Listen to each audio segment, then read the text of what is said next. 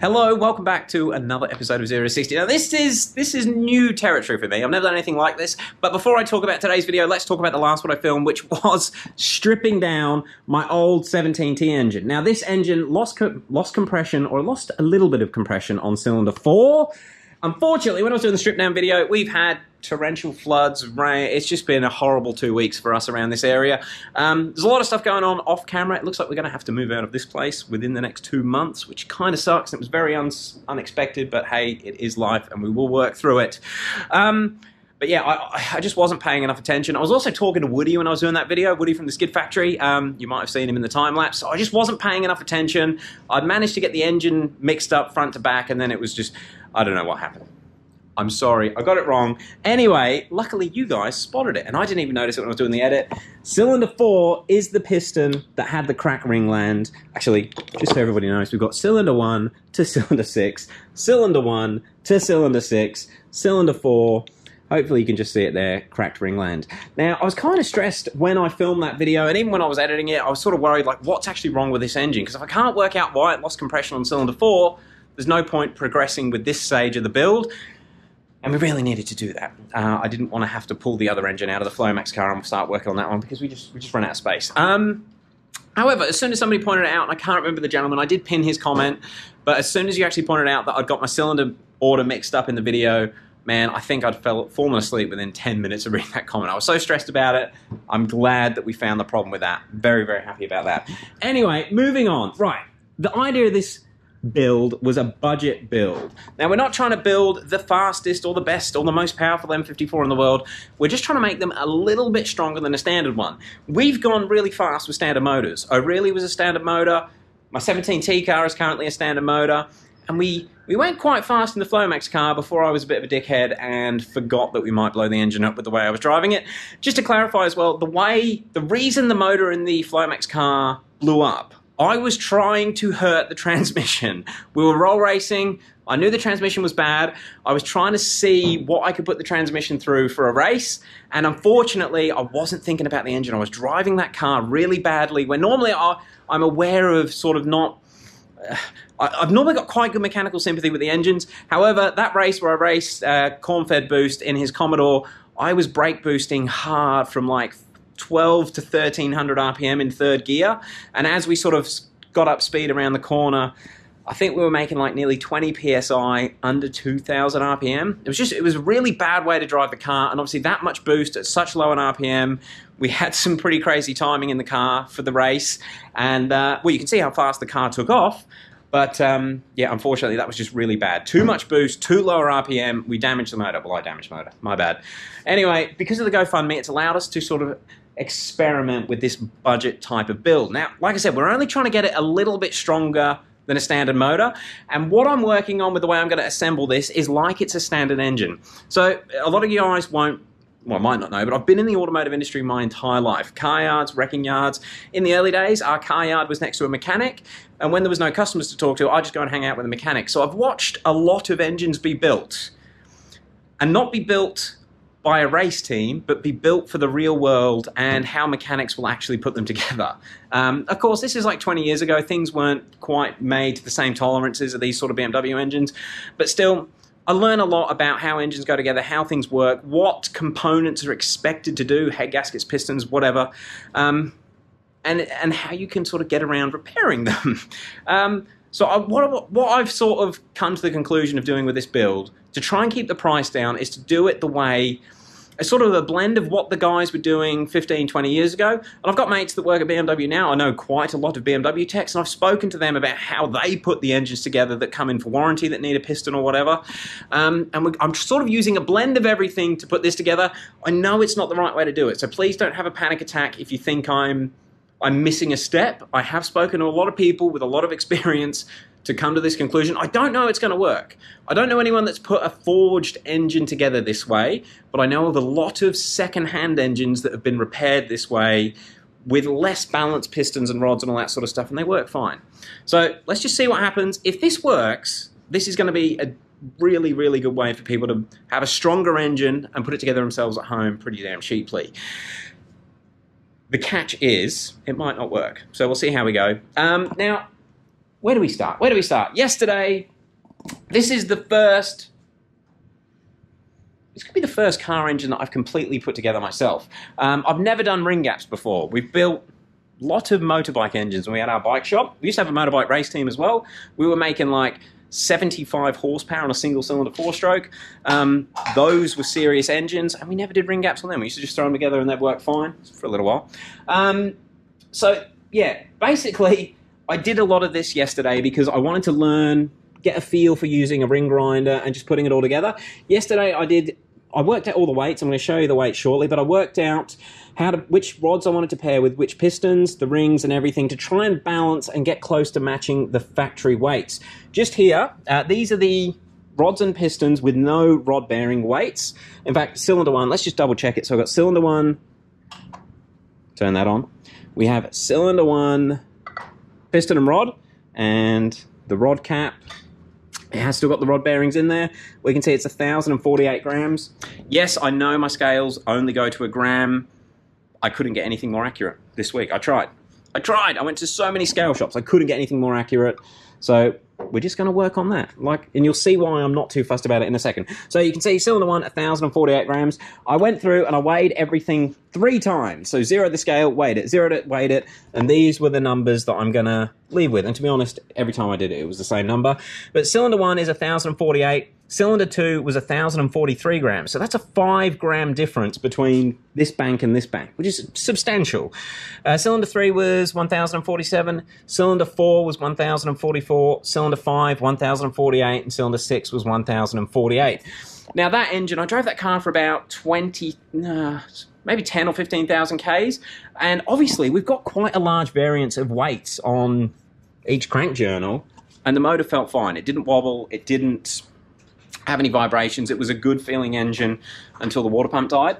Um, something else to keep in mind when people are putting standard engines together, they just put them together. They don't go and grind pistons and get them to the exact gram like you do when you're building a high performance engine or like what you've seen people do on YouTube. The reality is, when it's a mechanic putting an engine together, they just put them together and they normally work fine. And this is sort of a showcase for that. So we've got a five gram variance between the rod and piston setup, and the motor's fine keep that in mind when you see me moving forwards from this point. So yesterday I then went and weighed every one of the Maxpeedingrods, every one of the AMP 44 pistons, and where's our information? So AMPs, the piston and wrist pin, every single one was 413 grams. So these were balanced pretty damn well. Now the Maxpeedingrods, max speeding rods are advertised to be balanced within one gram of each other. Unfortunately, that wasn't the case. Uh, rods, the way that we originally had them laid out, one through to six, most of them were 543, apart from rod 5 was 544 and rod 6 was 545. So that is actually a 2 gram variance. Now you've got to keep in mind this isn't going to a tenth of a gram, so that could only be a 1.6 gram variance, and this thing's rounding up. Just keep it in mind. We're just going to roll with it. Let's just get this thing put together.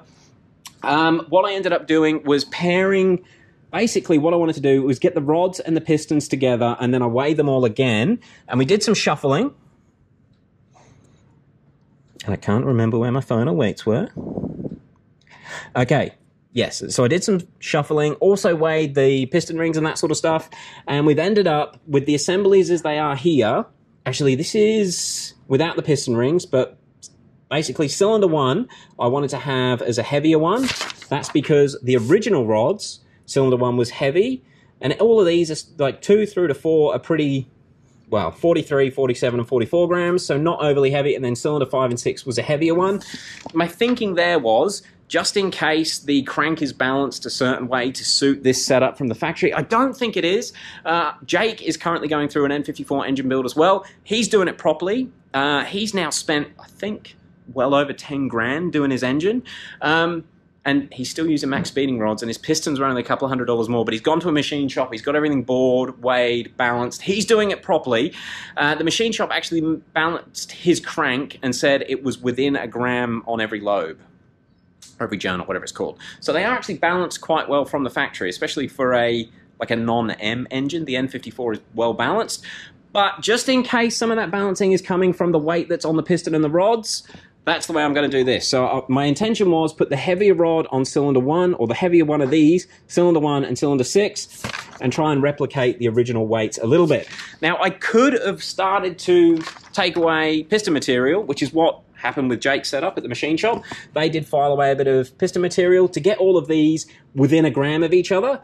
The way that they've ended up, da, da, da, they are all within two grams. So, yeah, basically, I'm just making sure because I was doing all this yesterday. Cylinder one through to cylinder six.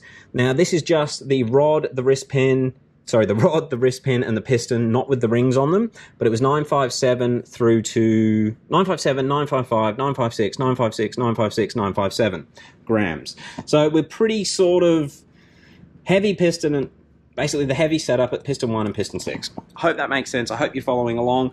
I could have spent another, I don't know, probably an hour getting them all the same, but I kind of want to just put it together and see how it goes nobody seems to document doing things the way that I've seen it happen so much in the real world. Everyone is so concerned with YouTube and getting criticized for doing stuff. If they don't do it like by the book, to the to the decimal point of everything, you get torn apart on YouTube. And I think it really impacts the way a lot of people think about mechanical work. And from what I've seen in the real world, selling thousands of cars, watching tens of thousands of cars go through workshops, it's not always the case. I'm not saying it's going to be the case for an N54 because we're talking a lot of power here. Um, but I just kind of want to see how it works. And if this does work, this is going to be a great option for people doing it at home. Let's just see how it goes. Not making any promises yet. We'll know in the next week or two. Anyway, uh, right, that was the weights.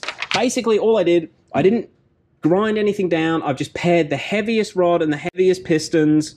Well, actually, that's not true. What I did was balance the rod and the piston but they were all the same anyway, so yeah, it doesn't make any sense.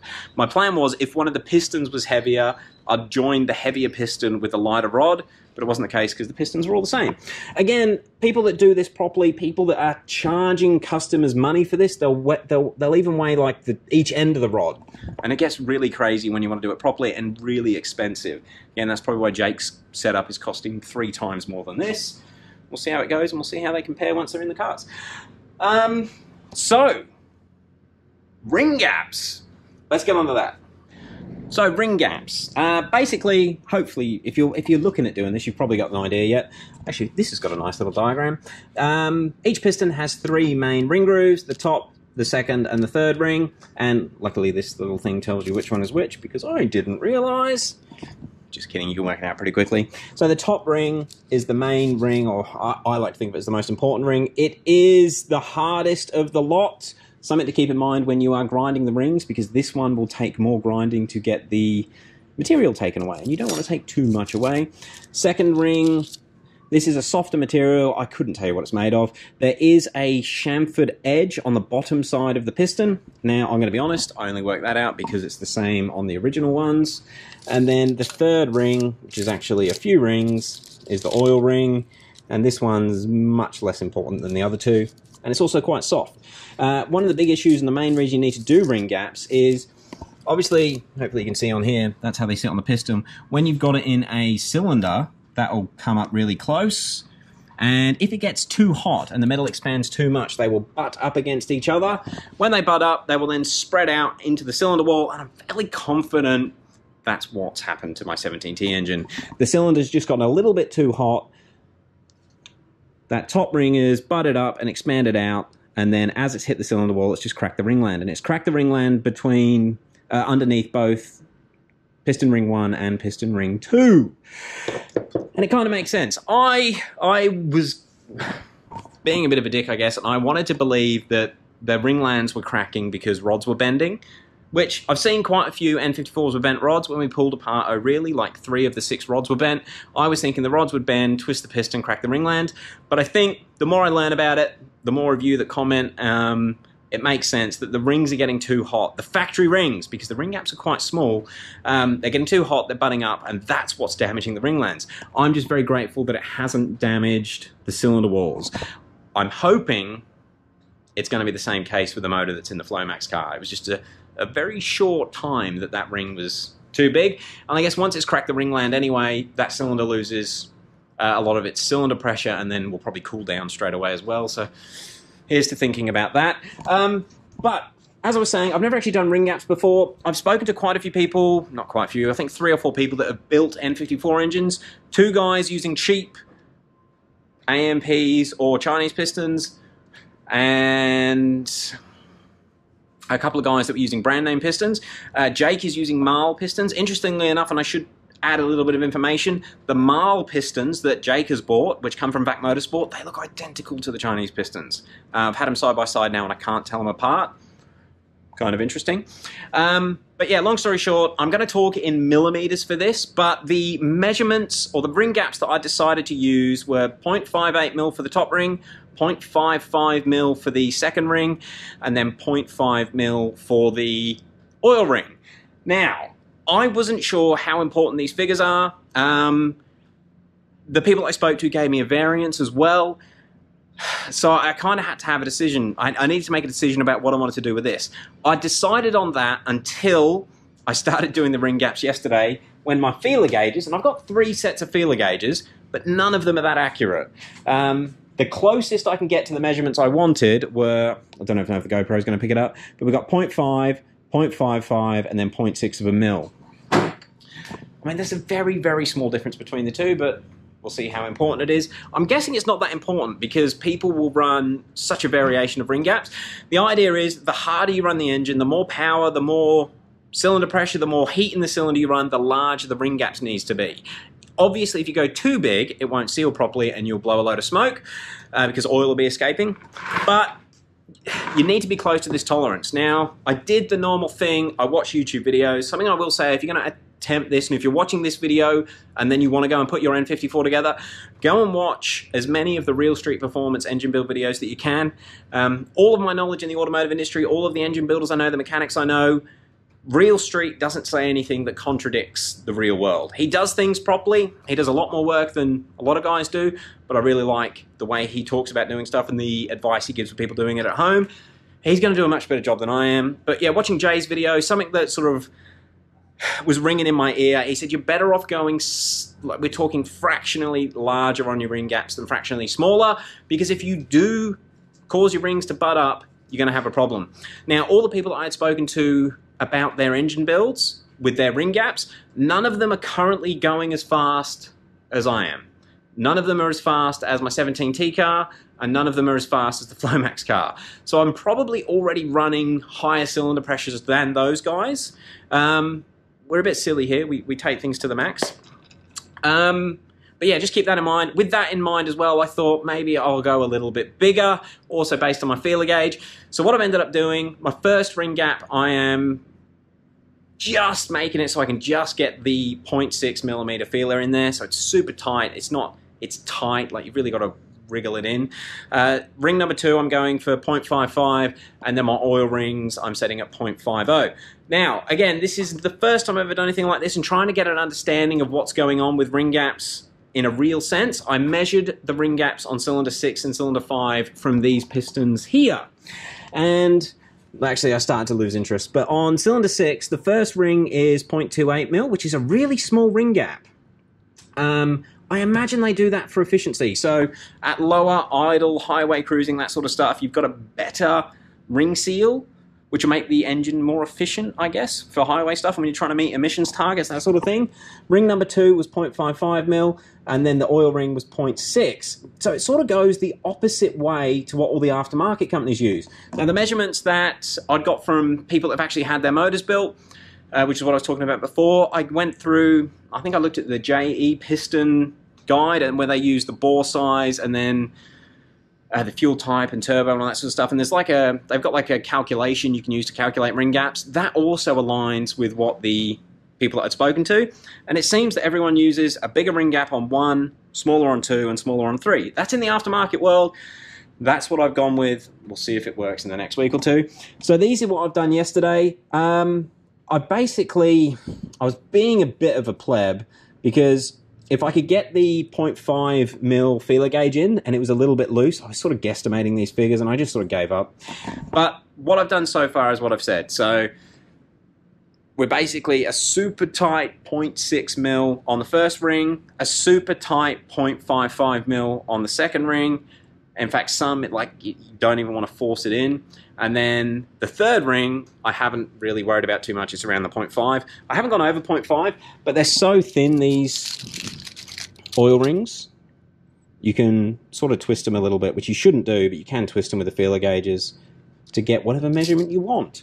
Um, Jay from Real Street did say he doesn't normally do much with the oil rings, uh, as long as he's, I think he said as long as they've got 15 thousandths of an inch, whatever that creates, converts to in millimeters, that's what he does with the oil rings. All right, I'm trying to explain it as I go, but again, go back and watch guys actually know what they're doing. The majority of my engine building research has been Real Street, JafroMobile. Um, the dude's awesome, actually. I really appreciate what he does with the work that he puts into his YouTube videos. Um, he's been building 4G63s on YouTube for ages. He he does it like full by the book spec, torque plates. The guy is really good. He's worth watching if you've got time to watch it. Um, but yeah, those two, they're the two channels where I've got most of my sort of high performance engine building information from. Go and check them out they explain things a lot better than I do. Anyway, let's get into doing these rings. Now, the way I've been doing all of these, I do cylinder, uh, sorry, ring number one first, then ring number two, then ring number three. I've been using the piston that's going to go into that bore to check it, and let's get on with it. I'm going to put you on the stand. So I know the GoPro's not going to be great for this, I do apologize. Uh, but we have cylinder one piston ring one. So it's the top piston ring. It does have top written on it, so you know which way up it goes. And all I've been doing is using some oil to lubricate the cylinder. This engine has been cleaned and it's currently full of oil and dust at this point in time, although I've been trying to keep the dust down. I slide the piston ring in and it goes in pretty easily with your fingertips and you can see there it's butted up pretty damn tight. Now to get to make sure it's sitting at the right point and all level, because obviously if the piston ring is twisted, it won't give you an accurate measurement. I then use the piston. I'm using the piston that is going on that cylinder. My fingers are covered in oil as well, and there's oil in the cylinder, but we will use the piston. And I've been pushing it down to that point there. That's where I've been doing all the measurements. I did do some reading. Some people measure them further down the bore, working on the concept that the bore will be tapered as it comes to the top but I've just been doing it about that depth there.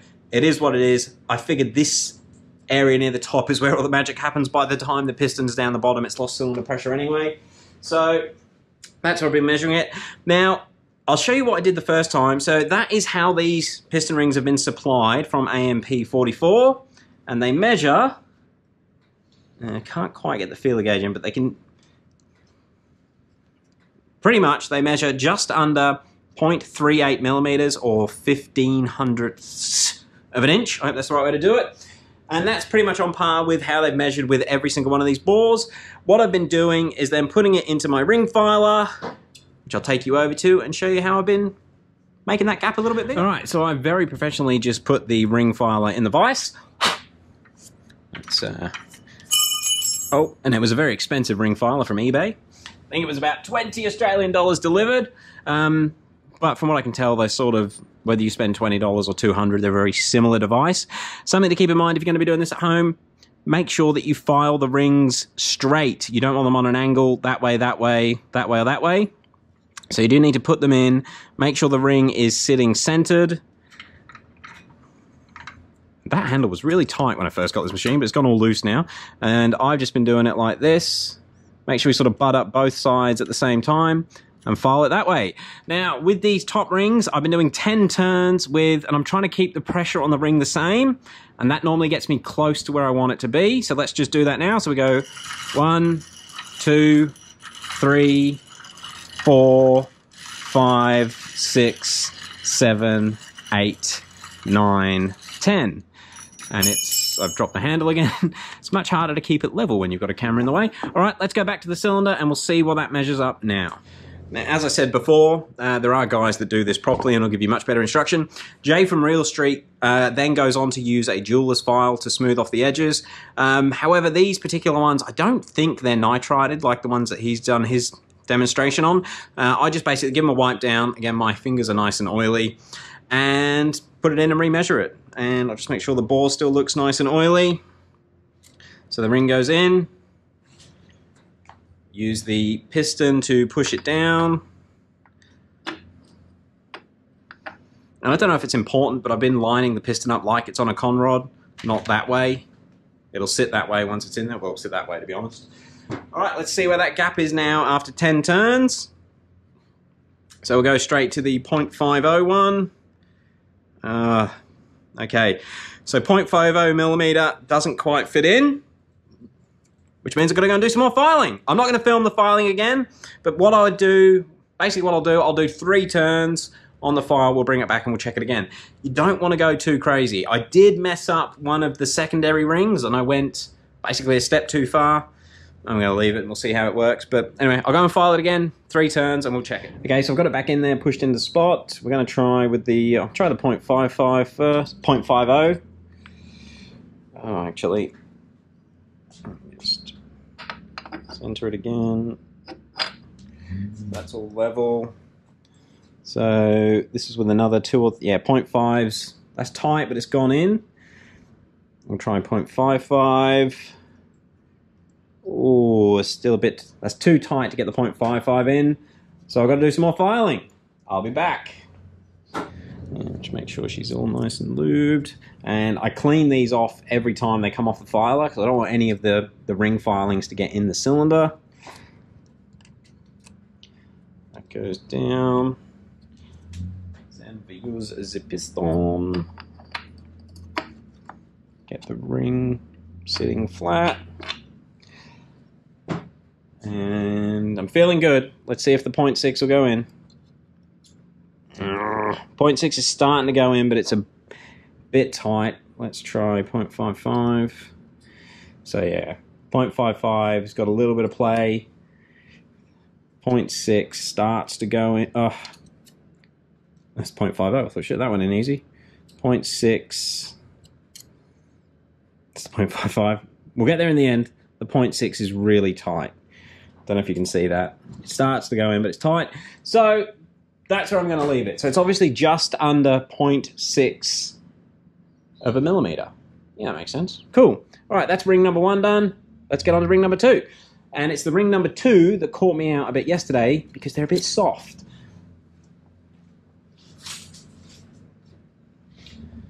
So again, ring number two, give it a clean, make sure the cylinder's got a nice coating of oil. And I did it with every single one, although it does feel super tedious. We put it in, push it down, and then we measure it again. The reason I measure them to start with is to make sure we're not going to take too much off, just in case there's an anomaly, an anomaly as it comes out the packet. So let's go with a. So I've got a 0.3 of a mil. Let's see if that one will fit in. 0.3 is super tight. Let's try. Let's see if the 0.5 goes in. Oh.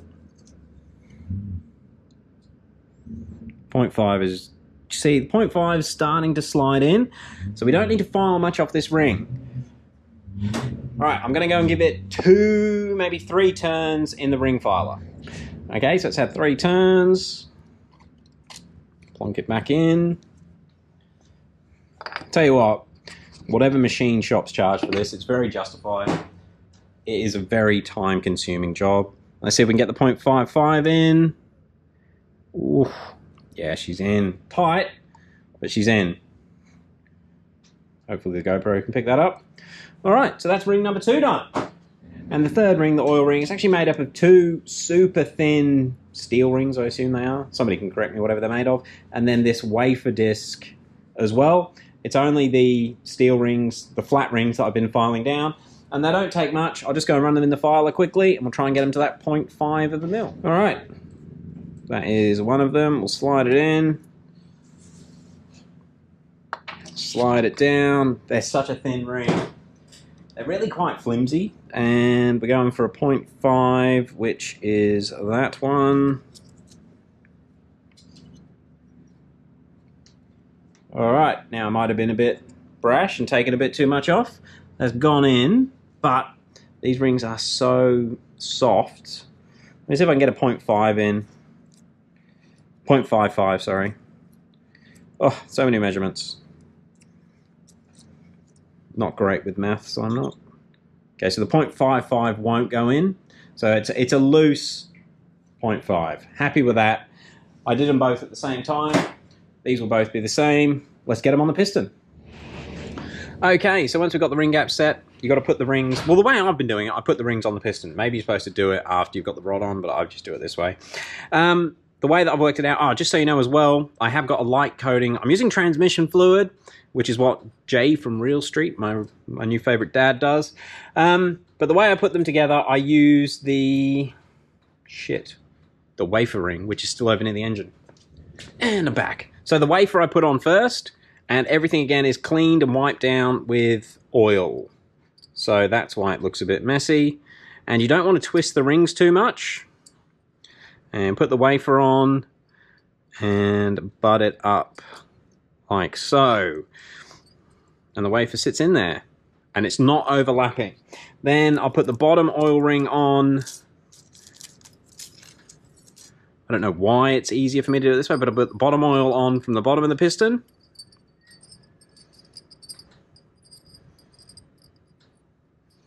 and trying to bend it as little as possible.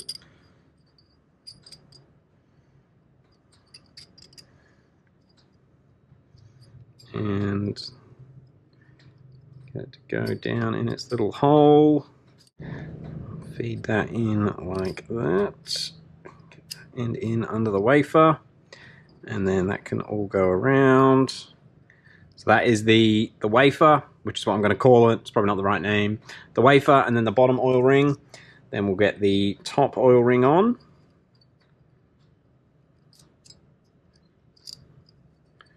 And just pull it down.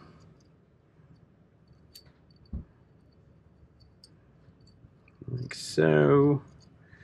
The oil rings are really quite easy to manipulate. And it will just sit on top of the wafer and then work its way. In fact, it's just fallen in.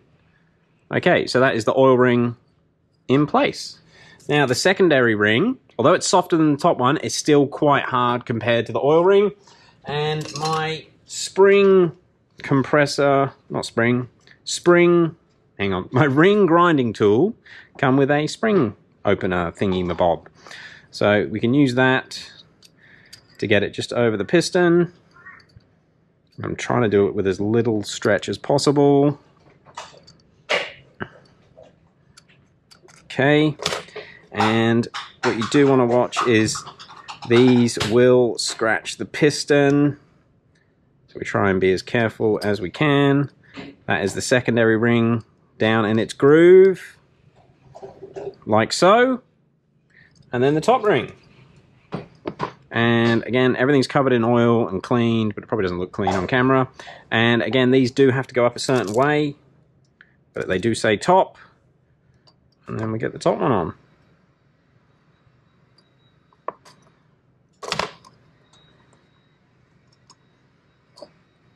And get it down into its hole.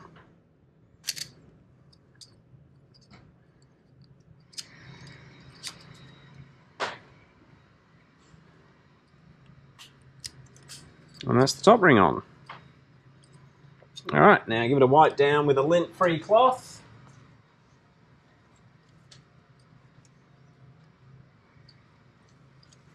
And that is a piston with the rings on there. Now the next step is to get it on the rod, which is harder than I thought it would be. In fact, we'll just keep it going on a one take. Might change the angle a little bit. I'm trying to work with a bit of a dodgy light here, but we'll see how we go. Um, that piece of paper can now go. So, wrist pin, rod, and piston. I the first one that I actually did, I coated this in transmission fluid, and the tolerance is so tight, I wouldn't actually try and slide it through there without lubricant.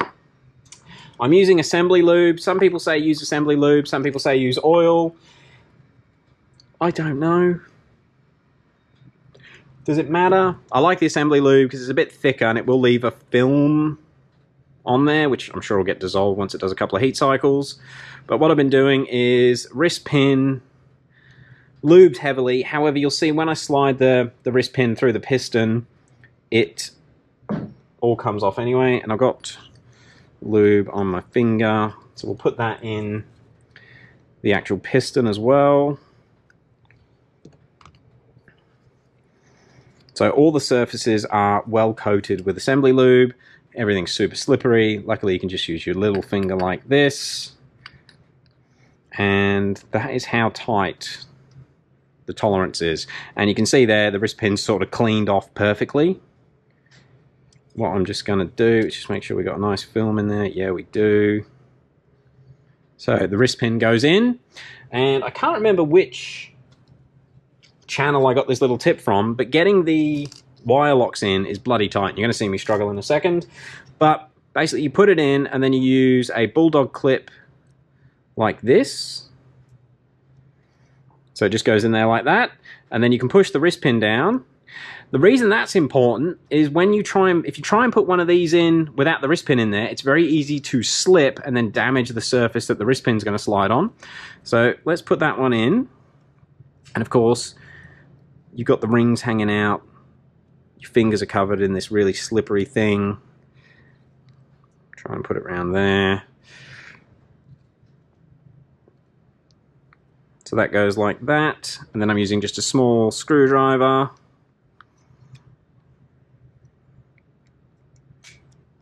Didn't get it in. Story of my life. Oh, popped out. I knew this was going to be hard to do on camera. And luckily I left it to the last one, so I can't like just film the best one or show you the best one that I filmed. This is the only one I've filmed. So it will, without doubt, be the hardest to get in, I guess. Okay, so we get that in as much as we can. We'll get the screwdriver over here and just see if we can get it to come in. Oh my god, the force on it is crazy. Okay, so the circlip's nearly in, or the wire lock, whatever it's called. Let's push it down. Hey, it locked in. Huh, the one I filmed was one of the easy ones. Okay, so when we got that one in, that's now going to stop the wrist pin from coming out this way. So we can take the bulldog clip out, like so. Push the wrist pin back through a bit. You see how clean it's gone? All the lube is gone. Get it to there. And I'm just making sure I got all the pistons around the same way. So I want it to go that way. And we got the rod, which needs to go in. Again, let's put some assembly lube on the rod. Or in the rod. Nice and messy. Mm. And actually, that's there. I want the piston to go that way. Hopefully the camera's getting this. Yes, it is. So the rod goes in, and everything has to be perfectly aligned. If the rod's not straight, the piston ring won't go through. Okay, that's that's lube. We got a lot of lube. I might just put a little bit more on that side. There. Okay, piston on. Get it level. Try and show you guys.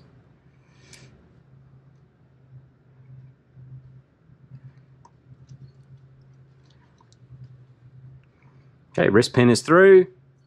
That's now joined, and now we've got to get the wire lock in on this side. Let's see how we go. The last one. God, these things are tight. And not tight like a good tight. Pain in the ass tight.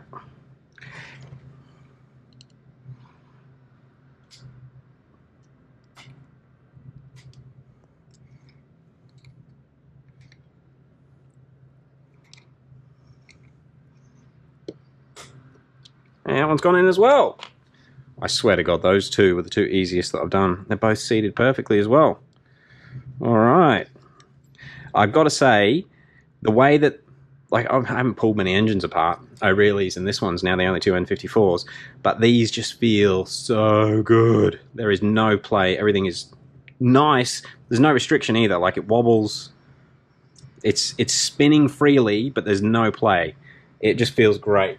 Unlike these, which feel like they have play, they're loose. They are used and had a way more power put through them than they were ever intended. All right, so now I just give it a clean up. And what do we do next? Okay, so moving forwards, I've actually um, what's the right way to word this? So what I've done at this point in time, I have locked the crank with my vice grips just here on both sides to stop it from spinning. And what we're going to do is check the bearing clearances. So I, I actually filmed two intros to this video, and I'm not sure one of them errored, so I'm not sure which one's going to work. But and I can't remember which one I mentioned it, but I have ended up with the ACL bearing extra clearances, not the standard clearance. Now, from what I can understand of what I've read, the ACL extra clearance is the same size bearing as the King bearings, but it all gets a bit weird because if you look at doing the rod bearings on an N54 the BMW spec way, they will have different bearings across the, the journals. Now the reason that they run different rod bearings or different size bearings or different clearances is to ensure that oil pressure is consistent across all of the journals and that is the main reason that we have rod bearing clearances. It's to allow the film of oil to be the right size and also allow the engine to build oil pressure. If you have a tighter gap on all of your bearings, the oil pressure in the motor is going to be higher than if you have a bigger gap. And traditionally with race engines, that's how they'll tune them. They will actually tune oil pressure with rod bearing clearance. Now, I've gone, I wanted to use the extra clearance ones if we can get basically the tolerance in spec with what I've read. And I'm going to have to bring those numbers up, or I'll flash them up on the screen now. Uh, I'll, I'll, have to research them in a second. But basically, uh, even if this is on the outer limits of the acceptable N54 clearance, I'm going to run it. And even if it's a little bit over, I'm going to run it because we do run RM54s on 10W60, not the 540 they normally run on. Uh, the thing that does get a bit dodgy is we've got standard mains, however the mains are worn. Uh, well, they're not worn, but they're used. So I would expect the main bearing clearance to be higher than new, and hopefully with some extra clearance rod bearings and everything being new on the rod bearing side, we're going to end up with similar oil clearances across both the mains and the rods. That's what I'm thinking. I mean, this is so out of whack and so far from what you should do. Who knows? Now, also, I can't remember which intro I've got it on. But the proper way to do this is with a micrometer and a bore gauge, and you actually measure the crank journal, and then you measure the gap inside the rod, and then obviously you can calculate the rod bearing clearance. Um, unfortunately, I don't have a micrometer, and I think the cost of getting a good micrometer, not a China one, um, it just sort of outweighs it for guys that are going to DIY this and maybe build one motor in their entire life. So I'm relying on the trusty Plastigauge, and I, depending on what intro it is, um, a lot of people use this. All of the, pretty much everyone that does the S65 or S85 rod bearings, they verify the rod bearing clearance with Plastigauge. It's not the right way to do it. The right way to do it is with a micrometer, but hey, we're doing a budget build. So basically what I've got now, the crank is locked so that it won't spin when I turn it over. I've cleaned the journals. The bearings are dry, so we don't want it to turn over whilst the bearing is dry, but it's important to keep it dry to do well, for the Plastigauge to work. Um, now this Plastigauge is the green type and it should give us a measurement between 0.025 millimeters, hopefully you can see it, and 0.76 millimeters. The bearing clearance that I think is acceptable for the N54 is 0.4, 0.045 up to 0.07. So basically we want to be in this range here. So let's put a bit on the rod cap just broken a small bit off. We'll lay it down in the rod, make sure I get the cap around the right way.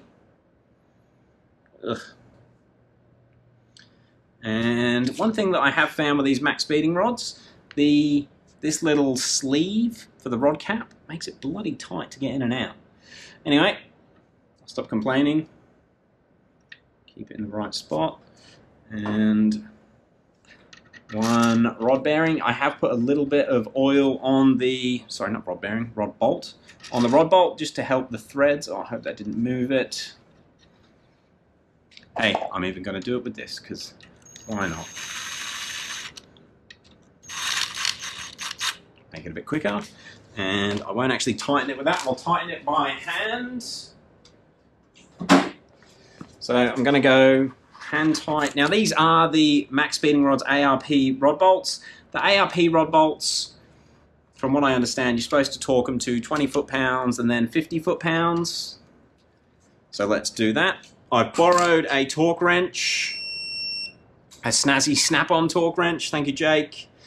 And the torque wrench is currently set to 50 foot-pounds, but I'll be able to look at it and I'll do it to 20 and then 50. Okay,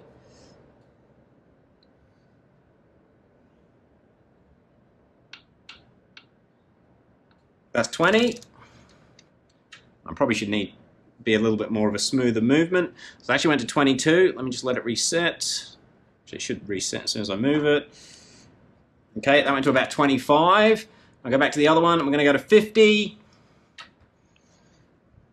And it'll beep this time. 50, and then 50. I went a bit far. 52. Right, it'll handle the extra horsepower. Okay, so that's it actually torqued down. Now I just got to remove it. And, ooh, it's tight. And we'll see what that Plastigauge looks like. Yes. I'll do it by hand.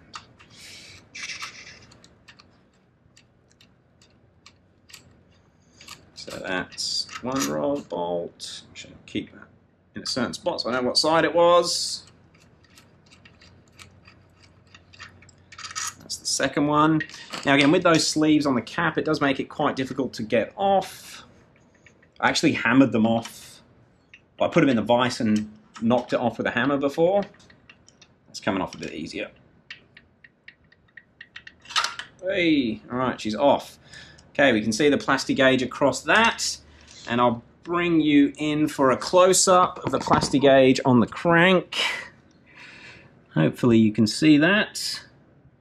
I'll probably just, I'll, I'll overlay a photo, but where's my ruler? Okay, so if we use the Plastigauge there, that is, it's a bigger clearance than we'd probably like, but it's between, ooh, Okay, it's bigger than 0.76, so it's between 0.64 and 0.76. But it's not consistent across the whole journal, which is interesting. I wonder why that is. All right, so I've actually it's been about an hour since that last clip, and I wanted to speak to a couple of people that are a bit more experienced in Plastigauge, rod bearings, etc., and just make sure I wasn't going to be wasting my time assembling the rest of this. Uh, just so that everybody knows, basically, the thinner the Plastigauge appears on the journal, is the thicker the bearing clearance is. So the small line means it's got a 0.76, and a big line means it's a 0.025 millimeter. Now, what we are there is, I'm going to say it's around 0.5. No, that's not right. It's between 0.5 and 0.65 across the Plastigauge. For some reason, it's not gone perfectly flat. I don't know why. Sometimes it happens like that, apparently. But general consensus, we're safe to send it. Now, I will flash up the... I've, I've got a screenshot, which I've already forgotten about. Let me open it up quickly. Da, da, da, Where are we? Here we go. So just to confirm, acceptable standard rod clearance, rod bearing clearance for an N54 is 0.048 millimeter to 0.071. Now that's when you're running 5 weight 30, the recommended oil. I'm running a thicker oil so we can assume that it would be safe to go slightly higher than that. Um, but we're within that tolerance. We're around that 0.06, let's say. So I'm happy with that. I'm going to get the rest of them checked and put together. Uh, GoPro's about to go flat. I might try and time lapse it. But in the meantime, I'm going to turn the music up and get the rest of this engine put together, and I'll give you a summary at the end and make sure it all rotates okay. all right, see you shortly. Oh, and actually, now that we know that we are safe to go ahead with this one, all I'm going to do is put assembly lube on both sides of the rod bearing, so on the top and the lower section, clean the Plastigauge off, and torque it up for real. Hopefully it never has to come undone again.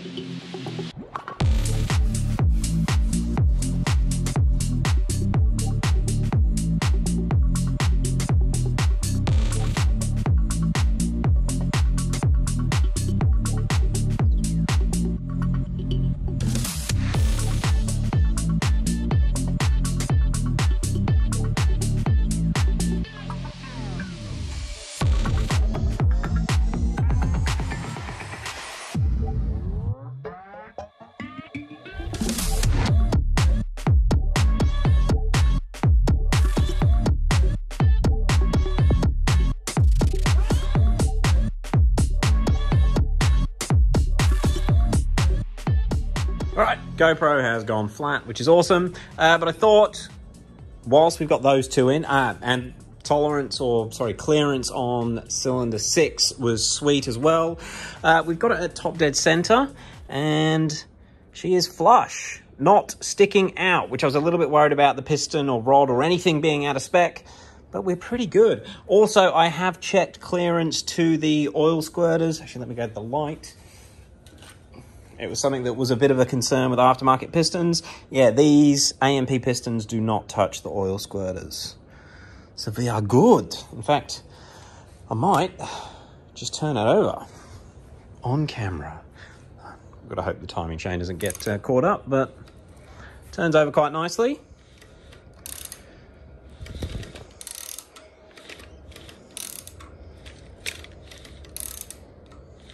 There we go. Everything is coated in oil. I'm not sure how I'm going to clean it yet before it goes together. All right, I'm going to crack on, do the other four, and I will give you an update when that's done because I'm running out of time. All right, I'm kind of enjoying this. All right, guys, speak to you soon. All right, so I've got it on a power lead at the moment, so sorry about the silly angle, but I just thought to show you how I've actually been getting the pistons in. Um, I'm just going to put a little bit more on this one, but a little bit of oil goes on, and try and work it all the way into all the rings so that the rings have no reason to bind up. Um, because I don't have all the right tools, I'm just using one of these cheap piston ring compressors, whatever they're called. So that goes on like that, and then we start clamping it. It just, it feels terrible. I've already cut myself twice on it, but it's doing the job. Okay, so we get it like that. Try and make sure that the piston is sitting in that fairly on the right angle, not twisted or anything. And I think we're good. Then already load the top rod bearing in just because it's easy to put in while it's at the top. Make sure it's going around the same way. Don't know if it matters, but I've got them all facing the same way. Then basically get it down like that. So the piston is just in the cylinder, and we'll tighten this up again tight as I can get it. And we'll give it a bit of a tap. Now I've seen people tap these on videos, but it makes a huge difference that it's down perfectly flush. And then we give the piston a tap.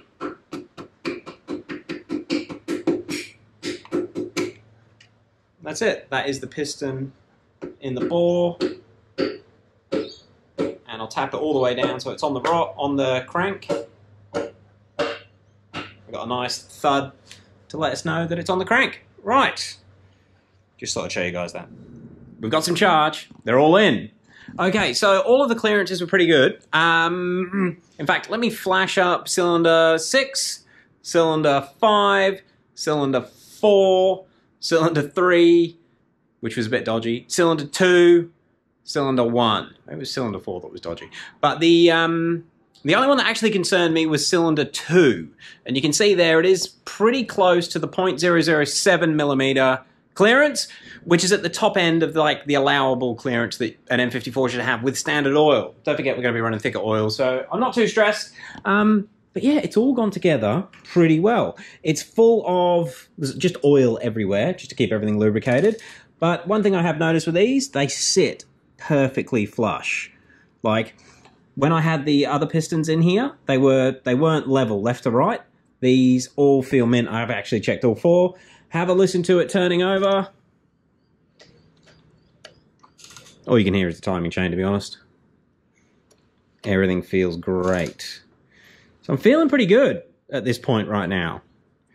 Feeling pretty damn good. Now, you guys will probably think, well, that's a funny thing to say considering how bodgy I've done it. But what I'll end this video off with, right now, these rods and pistons are more balanced than the ones that come out of it. That is correct. Even though they're not balanced perfectly, these are better balanced than the ones that were in there. I can't remember if I said at the start of the video, I intended on showing you guys weighing every single rod and piston that's in there at the moment. Um, there is two grams in total. So from the lightest rod and piston to the heaviest rod and piston, there is a two gram variance. Now, again, I don't have the most accurate scale, so that could be 1.6 grams, um, but that's significantly different to the 5 gram variant that was in it. These rod and piston combos, even though they are heavier duty, they're actually about 40 grams lighter than the factory ones. So we're better balanced, we're stronger, we're lighter. I didn't check the bearing clearances. I could have plastic aged the old ones, but I didn't really. I couldn't be bothered. Um, but we have still we are still within tolerance, assuming Plastigauge is to be believed, which most people seem to think it is. We are within spec for factory oil. I'm going to run some thick oil. I think we're going to be pretty safe. Um, the other thing to note, we also have larger ring gaps than standard pistons. Well, a larger first ring gap. The second ring gap's pretty similar, and the third ring gap's a little bit bigger. So I kind of feel like we're going to be able to make some more power safer which is all we want. Is all I want. I want to be able to run like 800 wheel horsepower and not blow it up straight away. Get a gear out of it. That'd be good. no. Um, yeah, basically, I'd like to run it at the power level that we cooked, that we blew it up at, but be able to brake boost at low RPM and still be pretty safe, which I think is going to be the case. These rods look beefy. If we go much higher than what I'm thinking, you're going to start having issues with walls flexing and that sort of stuff. But I think we should be good. We've got a lighter rotating assembly that's better balanced with better piston ring clearances and it's stronger than what was in there. It's got to be a win. So I'm going to call this a success at this point in time. Uh, I still need to put all of that back on the block, actually, well, with new gaskets, obviously. Um, but I'll get onto that tomorrow. I'll go and get this video edited. If you've got any questions, let me know below. I've tried to not talk about anything that I'm not certain on. I will say that. Uh, again, this is the first engine I've put together. I've tried to show you what I'm doing, but not necessarily how to do it. Again, go and watch some Real Street videos if you're going to have a crack at doing this yourself. Um, even though you can do it differently to how he does it, he just knows what he's talking about, Mr. J. Um, yeah, but now it's all here and rotating. I'm really happy with it. It looks good. Nothing, there's been no issues with binding. Oh, the only thing that I will note that I learnt, there's something I learnt today. I actually, well, worked out. When you put your new rod and piston in, make sure that it is in the middle, not off to the side. Got to be in the middle. Like these flop around because they're worn out. But those ones, even with the assembly lube on them, um, they are quite tight, and it does get difficult to slide onto the conrod, sorry, the crank journal if uh, when they were off a little bit. But if I centered them as they went down in the hole, they went super smooth, super easy. I think that was it. Assembly lube is on all the bearing surfaces, on the wrist pin, and then there's oil everywhere else. I'm gonna cover it up. Hopefully, get the head on it tomorrow. Then we're gonna get the engine out of the Flomax car and get this Lamex setup. The Lamex setup has arrived. Let me know if you would like to see a video on this stuff going back on, which we have already done on the channel for the original 17T engine swap, or if you would prefer to see a video of the Lamet controller unboxing next. Um, yeah, this is all going to be pretty standard stuff that we've already covered before, and I really want to go through that Lamet stuff, so let me know what you want to do, but I will definitely get this put back on the engine tomorrow. I hope. Guys, thank you for watching. It's all going pretty well.